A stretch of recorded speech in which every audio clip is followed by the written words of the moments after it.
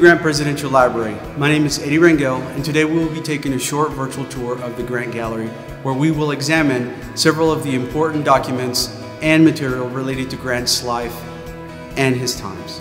Uh, we hope that this will entice you to come back. As one of six uh, universities with a presidential library, we are proud to have the Grant Presidential Collection here at Mississippi State.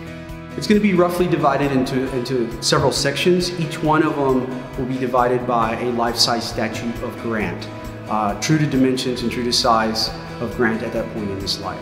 You're also going to see several interactive exhibits that will help you that will help us contextualize Grant's life and help you explore uh, more about uh, Grant and the times in which he lived.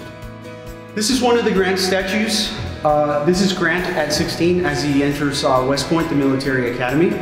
He is about 5'1 and about um, 100 pounds.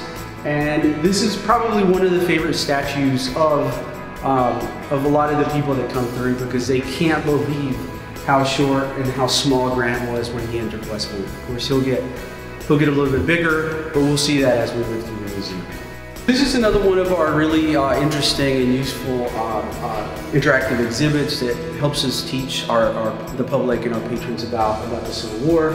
Uh, and you can see this timeline here. Follows from 1860 to 1865. And so our patrons are able to, to touch in any part of this timeline and uh, delve deeper into the events uh, of the Civil War and maybe what was going on in Grant's life at that time as well. So this is our third statue in the collection. This is President uh, Ulysses S. Grant.